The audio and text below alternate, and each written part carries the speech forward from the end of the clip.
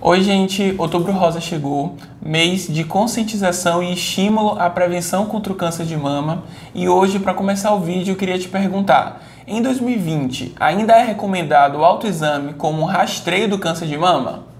Go!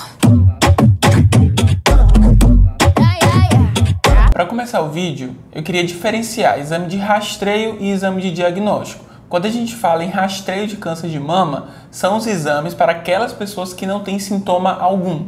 Se você tem algum sintoma, algum nódulo, isso tem que ser discutido individualmente para fazer os exames para diagnóstico. É, hoje, em 2020, no Brasil, o Ministério da Saúde recomenda que o exame de rastreio para o câncer de mama seja a mamografia a partir dos 50 anos de idade, realizado de 2 em 2 anos, até os 64 anos, 11 meses e 29 dias. Já a Sociedade Brasileira de Mastologia indica esse rastreio para ser iniciado aos 40 anos. Por isso é importante que, junto ao seu médico ou à sua médica, você decida aí em conjunto quando você vai iniciar. Bom, para quem esse exame de rastreio é indicado? Para as mulheres cis, para as mulheres trans que fazem uso de hormônio, tá? E para os homens trans, mesmo aqueles que tenham feito a cirurgia de retirada da mama.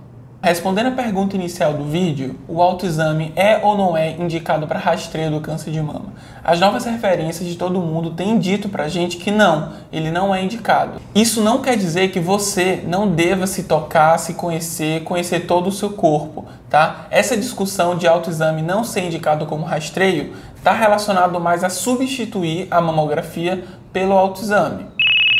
Carol, o que é isso? Tem um recado de uma seguidora aqui para você, peraí.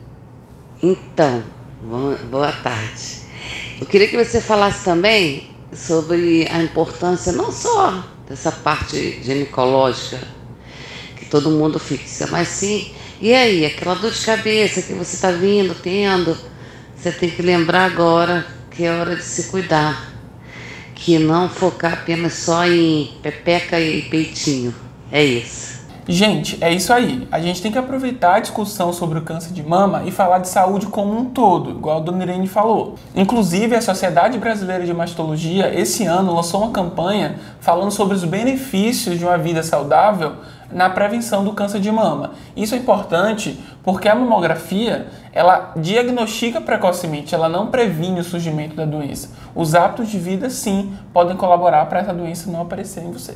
Então é isso, gente. Vamos aproveitar esse mês para falar sobre câncer de mama, mas também para falar de saúde como um todo. Aproveitar esse momento para a gente se autoconhecer, é, cuidar da nossa saúde, adotar hábitos de vida mais saudáveis. E é isso, tá? Em caso de dúvidas, pode falar com a gente pelo direct, mandar um e-mail, nos comentários. Pode curtir, compartilhar, por favor, que a gente vai agradecer. Go!